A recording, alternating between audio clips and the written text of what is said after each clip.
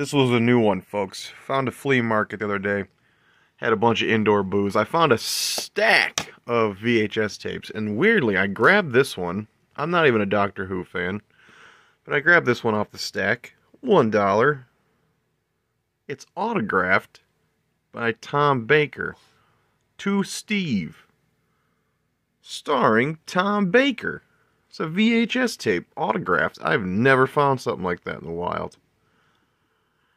Now, I will make sure this goes to a good home. A Doctor Who fan somewhere in this world will get this. But yeah, for one dollar. What a bizarre find.